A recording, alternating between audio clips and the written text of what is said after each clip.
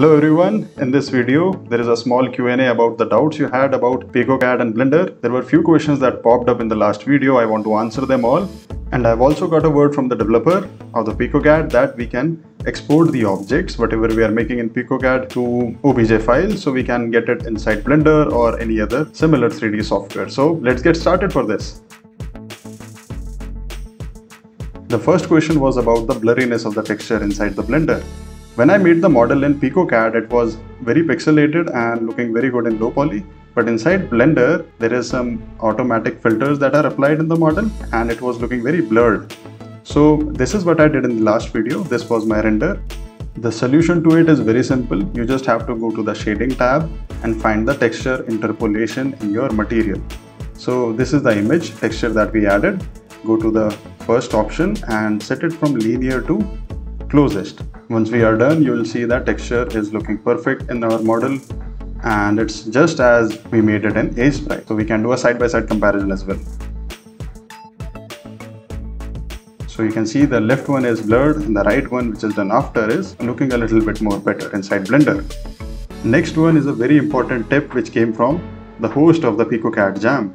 And if you remember my last video, I made the DJ by the Night console for the submission of the Jam and I'll show it to you here. So I was telling a solution that if you want to rotate a map, for example, I was making the DJ's console and when I zoomed in a bit, I saw that it was not rotated properly. So my solution was rotating these vertices one by one in the anti-clockwise manner. But there is a small solution to this. For example, I should have read the manual which came with the PicoCAD, but I'm just a bit lazy. So thank you very much Benjamin for giving this tip. You just have to hover your cursor over the console and press the R button new keyboard. So you can just rotate. For example, I just rotated it for the console. For the ground also I can do it. I'm hovering over my cursor over here and pressing the R key. You can see the whole map rotates. So it saves a lot of time. Next one is from the developer of PicoCAD himself.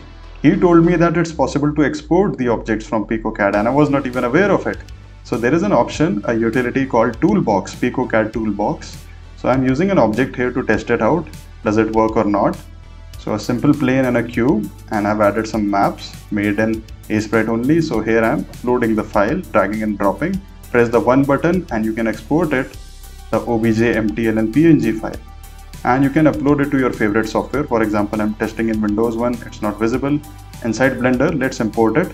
Go to File, and we should find the wavefront obj i think it's here here it is find the folder. After you have found the folder you can see it's visible and it looks perfect.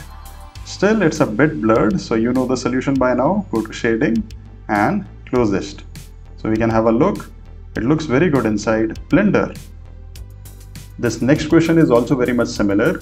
This person told me to import the object from PicoCAD inside Blender directly rather than making the truck once in PicoCAD and once in Blender that I did in the last video.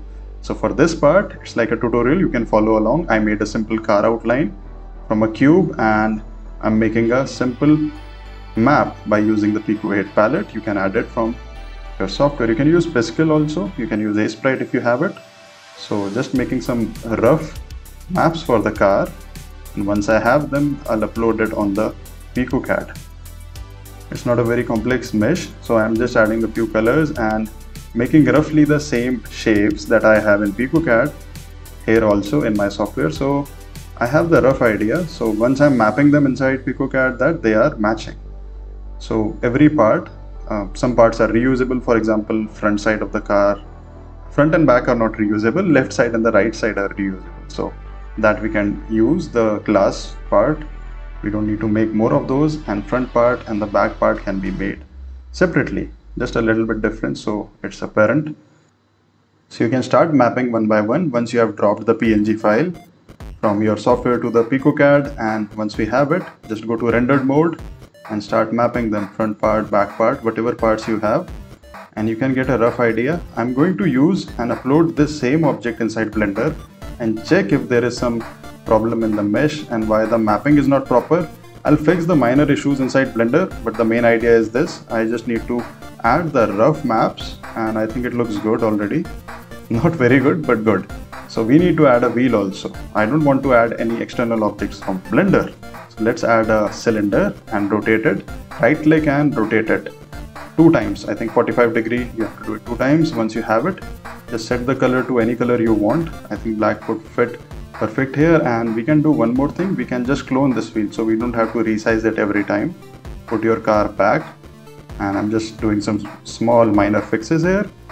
Once our car is ready, let's do the part where we clone the wheels. So right click on the wheel once you have placed it in the proper position and you can just click on clone the mesh. So you have another cloned mesh and place it in the back side. You cannot cut the meshes just like there are bool tools inside Blender. Cannot cut the meshes but it looks good, it's fine. Clone the other mesh to the other side of the car and we have our car ready more or less. So it's a low poly car, not very bad. It's fine. So let's render it out. Export the GIF and for the files save your file and go to the toolbox export it press the one button you know the drill by now so let's do it together open the PicoCAD toolbox so once you have uploaded the file press the one button and you can press the Z button so you can open the files now let's go to blender once more and upload it by now it, it will become like a second nature for you if you have done it two times so the car is here let's have a look the shading view so our materials are visible, you can see, but there is a small problem that it's blurred. So we'll fix that. And there is one more small problem that I'm just looking in the edit mode that is the geometry of the car correct or not. I think the mesh is perfectly all right. We can move to the UV editing and start fixing the textures that were not properly placed inside PicoCAD. So let's go to material preview and tab into edit mode, press 3 so you can go to face select and select one face. After that you can adjust and edit the all the faces whatever they are required. They are not matched properly and change the geometry also here. Also make the texture to the closest so it, it is very sharp and good I'm just doing the minor fixes one by one for all the parts. Mostly the glass part was not proper. So that's why this this is the only part that's taking a little bit more time. So let's do it for again for all the four directions. Our car is more or less ready. I think it's ready. So i'll duplicate this car and change the geometry a bit just for reference purpose because I'll render an image to check out how the both cars look in the scene. Also, um, after I've adjusted, I think the original one looks better. Let's add a plane and modify it to give it a proper look. So once I add the camera, they render the entire scene properly. So here it is. Let's add some lights also and some glow lights inside the car as well. So the model looks a little bit better. I'll also add the headlamps. So the render is much more better. The camera is here, let's have a look at our renders.